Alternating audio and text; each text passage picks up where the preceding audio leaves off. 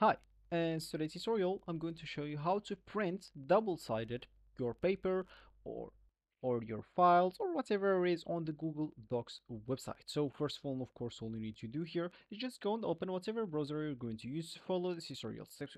So of course here in my case I'm actually using Brave, but of course in your case you can use any other browser could be possibly working for you. Once you open your browser, go here to the URL section, just type Google Docs hit the enter button that will take you into this page. And from here make sure to click at this first link. Make sure it's not an ad or advertisement. You'll notice by an ad icon here. Once you click on it you'll find yourself here.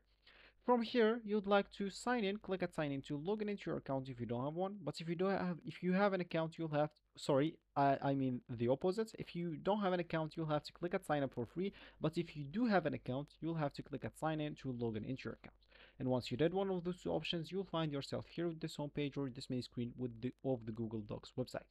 And of course here you can just start a new document. You can open some of your recent documents or you can just choose some of their templates right here which is totally for free.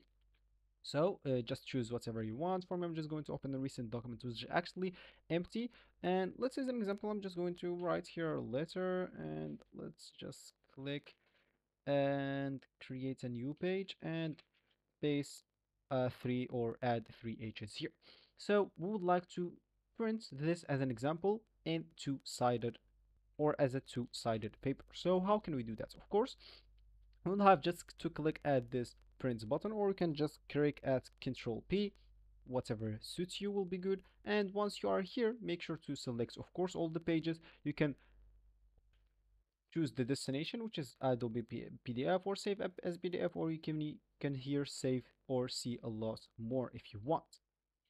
So let me just hit the cancel and here you can just go and hit the more settings option. And now what we would like to do here is just go and choose of course here letters page per sheet which is one margins let's default quality of course let's set as you want or you can even change it if you want. The scale should be default so of course once you are done if you want to print it on the both sides you will have to click of course here on the destination see more and here you will have to select first of all your print. So once you selected that for me it's not connected now to my pc but once you selected that and this more settings you will have an option to print it double-sided. You will need just to check it up and print it and you'll be good to go. So this will be actually for this tutorial. I hope you like it. Thank you guys for watching and goodbye